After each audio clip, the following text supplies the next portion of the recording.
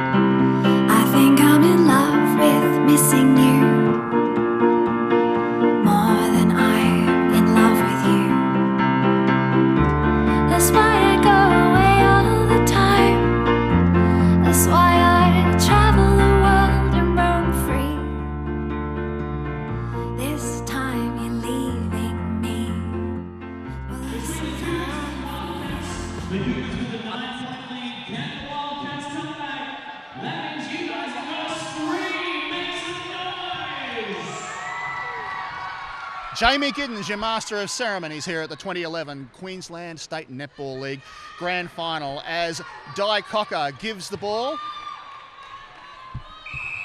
Gives the ball to Bronte Oriole. And we are started. So there's a few changes for Wildcats. Um, Wildcats have brought on Lucy Benjamin, taken off Nicole Theron. Um, Larissa Hughes has gone in at goal shooter. Brody Bower has gone in at goal attack, and Karen has moved over to wing attack. Uh, just when we were figuring out who was who. well, and, yeah, anyway. actually, yeah, that's right. Janet Kiki is actually off the court. Um, I thought Janet was doing okay, but um, Hillary needs something different in there. And Karen is one that does drive very beautifully and very nicely. Um, Cougars have remained the same, so no changes in the Cougars lineup.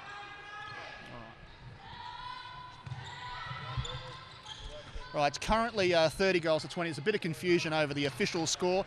We will stick with the scoreboard for the moment. Um, we were showing uh, 21 goals to the Wildcats ourselves, but uh, at the moment, the scoreboard will take as being official until we are told otherwise. 10 goal margin. A 10 goal margin, that is huge in a grand final, Paula. Yes, I mean Wildcats. They need they need to stick with Cougars. Cougars is one that, as you said before, the one percenters the whole time. And they're the ones that will make you suffer as soon as they get an intercept. And they do it in the HCC and the state league. Yeah. I mean, uh, if we look at the we look at the game plan, it's very similar with the Cougars across the board. They often do those one percenters for the first half or three quarters of the match, and once they've got that confident um, lead or whatever in the match, then they'll start moving a bit longer. And all the while, the score is just ticking over and ticking over. That's right. That's La- Larissa's first shot of the match, so that's a nice confidence boost as soon as they shoot the first match. And that's how they've goal. beaten the Tigers. But you know what? Tonight, the the Cougars are the Tigers of this competition. Oh, that's right. The Cougars, they do have some really nice players out there, and that they were undefeated. Wildcats are the underdogs, but as I said before, you never say die. You've seen how much of a game can change, especially in five minutes. As you Beautiful intercept by Bronte Oriel. as you mentioned, they did go through the season undefeated. They're trying for a Firebirds here and have a perfect season, not lose one match. The Wildcats lost three or two during the home and away season, once to uh, the Golden South Jaguars and also to the Cougars. Uh, third, it was an absolute, well, 30 to 73. I don't need to find an adjective, do I? No. It, it was it was a big, big loss. But Oh, yeah, Wildcats had it. I mean, no excuses. Um, I spoke to Hillary after that game, and Hillary said that yeah, she had a few injuries, but no excuses. She said Cougars were just on fire that day. All right, that was round five back on the 22nd of June. The more important thing is we like to think once we enter a final series, everybody, it's a new start, clean slate. I know in, in reality it doesn't always look that way. Um, in the elimination round, they uh, they were beaten by the Kedron Wavell Services Club Cougars 35 for 56. And right now we have a third, an 11 goal margin. I think we're about to go to. No, no, nine, Nine. at the moment, 32 to 23. Of course, we'll put an asterisk next to that because we're, we're not sure whether that scoreboard is actually out by one goal or not at the moment, with as far as the Wildcats are concerned. Actually, just in about the last minute, Cougars have done a few little sloppy little passes, and um, that might just bring the confidence back up to Wildcats. So Wildcats can try and damage them now with this one. And it's, uh, can't do the long passes into Hannah. Hannah's got beautiful timing. She moves her body around the player very well. Bit of desperation there. Yeah, I don't know. They need someone to cut. Um, one thing that Cougars do do well is they do block off the centre channel and they make the other team throw across court without the other team even knowing that. And that's how they get some beautiful intercepts. Oh, I think Larissa was lucky to have another shot on that one. I thought it was actually quite nice by Hannah. And she gets it in. So, yes, and it's their centre pass. So, this is the nice turnover uh, coming from Wildcats in the last minute. Hannah will, will go out and she will have a go. So Wildcats should know that by now and they should be having a look in the circle. Hannah actually left a little bit early in that one. Nice hold by Larissa and she finishes it off. So here we go, Darren, they're coming back. You're down by a large margin at half time. What do you tell your players in a grand final? I don't know if I can say that on air though, Darren. There's, Um, there's no next week. there is no next week. I always like to have a look at the players. Firstly, probably have a look individually, uh, and then having a look as a unit. And as a team, we will play five minutes at a time. Do you do a technical analysis of what's going on so far, or are you looking for what's in their minds? Uh, It depends on the game. So yeah, so it all, if, if I see the other team doing the same thing over and over again, you would hope that the coach would say to them, "This Yeah. is what they're doing, and why do we keep on, you know, throwing the ball into their hands?" So yeah, you try and have a look uh, on the technical part, but again, you've got to have that confidence. Uh, and, and try and get the players to have that confidence and belief in themselves that they can go in. Nice shot by Lauren. Taking a look at uh, shooting stats in that second quarter, Jemison Power 12 from 13. She's only missed one in the entire match. Lauren Todd 4 from 6. And uh, the Cougars are shooting at 84% in that uh, second quarter after 93% in the first quarter. Karen Logan 4 from 4 in that quarter for the Wildcats. And Brody Bowyer 5 from 7. So there's not a lot wrong with the, uh, the stats in terms of percentages. It's all about getting the opportunities. That's right. They need to start to finish it off, and I think that's why um, Hillary was having a look at her attack end. She there was something that was breaking down, Uh, one person had to suffer, and at, at that time it was probably Janet. Yep. Um, I don't think she was doing that much wrong, but um, Hillary did need to, to change something. So, and that's a change that she has made. And Karen can play wing attack very nicely as well. We know the shooters at either end are doing their job. The goalkeepers and uh, goal defence are mostly doing their job as well. How do you think the two engine rooms in the middle are going? I, I, I'm actually very impressed with Maddie. The wing defence would be one thing. Um, and, and Rosa is one that's just there. But one thing I like about Cougars is when they do get the ball, the timing. So the belief that someone is going to be there, they're actually drilled very nicely when the ball is coming down the court. And basically with Cougars, that is very nice to see.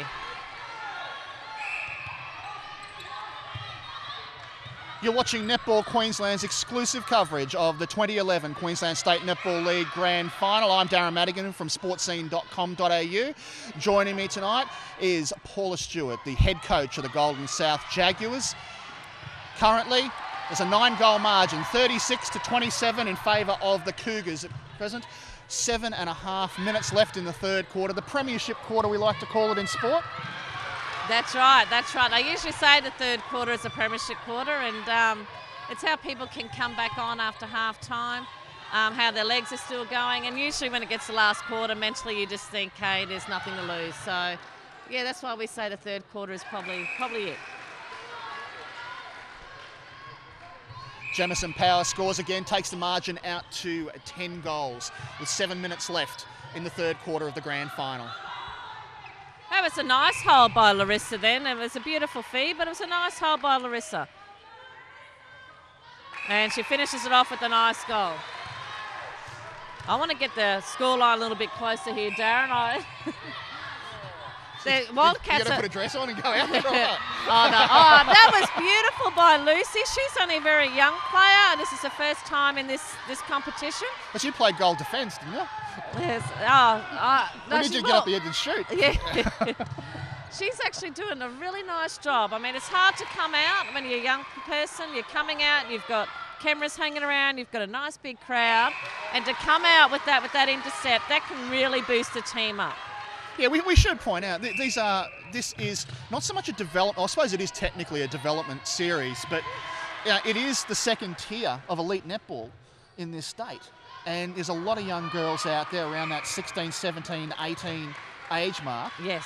and. Uh, you know, it's a credit to the coaches how they can keep their heads straight. Oh, that's right. I mean, it's it's tough years. It's 16, 17, 18. Absolutely. Um, so yeah, it's they're doing a great job, and these players too. The maturity they're showing out here tonight, and the control has been really good.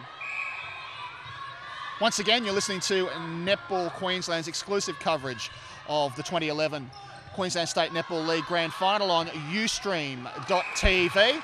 And uh, let us know what you think of everything that's going on at the moment. Would you like to see more of this next year, actually? And uh, on our Facebook site. So go to Netball Queensland's Facebook site and uh, leave some comments there. We'd love to hear from you. Ball goes long. Jemison Power just couldn't get her hands. Just a touch and that was it, and the ball went over. Yeah, Lucy's doing a great job on Jamison, so she's really moving her feet nicely.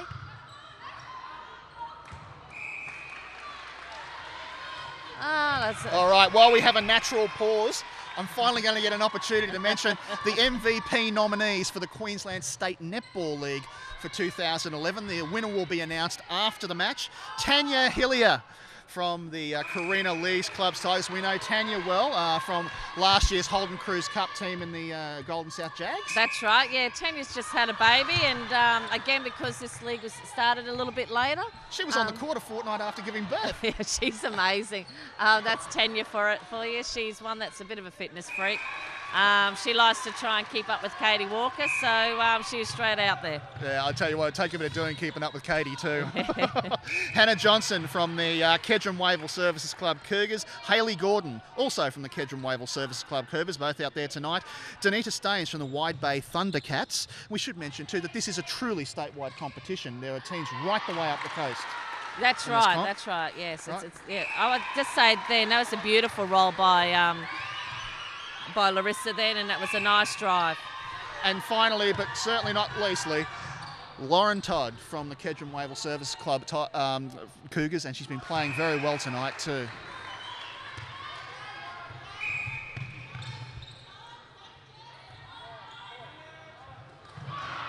Again, a nice intercept by Hannah. She's one that they really have to start to have a look to see where she's moving because she's just going out hard for the ball. There's no tomorrow, and she's picking up some beautiful intercepts. Well, that's the, that's our favourite catch cry, isn't it? There is no tomorrow. and uh, anybody who's ever played sport and made it into a final series knows that every match, and when you get to a grand final, that is it. You know, That's right. You you you may not get in another one in your career. I've um, I've been involved in Australian football for many years, and I was actually uh, team managing at Springwood Football Club, Aussie Rules. And one of our coaches, uh, who's a member of one of the most famous sporting families in Australia, he was the unlucky one. Um, his family plays very well known, played for Collingwood. I won't mention the names, but I think it's not hard, too hard to figure out. And uh, he's never played in a grand final. Oh, there you In go. all, you know, and he'll be, he would have finished his career by now, would have retired. He went through all those years and never got to play in one. So, you know, you've got to treasure them. Oh, that's right. I mean, I've played in a, quite a few grand finals, but again, Liz White being the coach, even when I was playing, um, we were always the bridesmaids. So they've been going back a long time, and um, she's yeah, she's done a great job all those years. Yeah, you've got to treasure them because you just never know if you'll never get one again. Oh, that's right. Gra- Playing in a grand final is a fantastic experience, and and they're going to keep going. I mean, they were they. Wildcats came back to only being seven goals at one stage, and it's a shame that they let that slip a little bit now. So Because it has blown out, hasn't it? It's 12 goals now, 44 to 32. Yeah, it's going to be hard to catch that up in the last quarter. But again, you you never know. You've got to make sure that you're on your game. But if Cougars keep playing like they have been, then um, yeah, c- if, if even if they play each quarter like this, it's going to be hard for Wildcats to come back. Paula, what are the ramifications for the Holden Cruise Oh, Cup? sorry, there's Lucy again. That was beautiful. She's having a great quarter. Sensational. Yeah. Sorry, Darren. No, not at all. Uh, What, what are the ramifications for the Holden Cruise Cup for the Cougars in terms of if they've got a side that's this good coming through at tier, basically what is tier two? They've, they've got they've got players for the next five, six, seven years Yeah, that, the well, Holden Cruise Cup. yeah. Basically, you've got to have a look too. When are these players ready to move up? Yeah, um, because sometimes too the players might be ready to move up, and um, is there any room in the Cougars HCC? I mean, one player that needs to move up now. I mean, she's been recognised uh, being in the top 20. Um, that means she's probably what the seventh best shooter in Queensland um, by selectors um, for the Queensland Fusion squad. So she does need to go up next year in the HCC team. So Lauren's playing goal attack now in the um, in the Cougars. So that was the only tier, um, the only state league player that got into the top 20. Um, so yeah, she she should be moving up next year. that's a sensational effort. I mean, to, to do it from the State Netball League rather than the Holden Cruise Cup, to make to make a final 20 of a of what is an open open state competition. Yeah, it, it is a huge effort. I don't know how, how they actually um, worked on that because she didn't have any anyone defending her. Yep. Um, in you know, the the players in this league is, is probably that small step down to the next league, Yep. and um, yeah, so a, a goal attack, goal shooter might be looking a bit better in this league. So I'm a bit um, a little bit surprised that a state league person ha- uh, made it in, but she has made it in, so she really needs to move up now. Oh, nice intercept by Maddie. Lucy Benjamin stepped over the uh, third line there. She tried hard not to. she really did. That's three quarter time. There's just 50.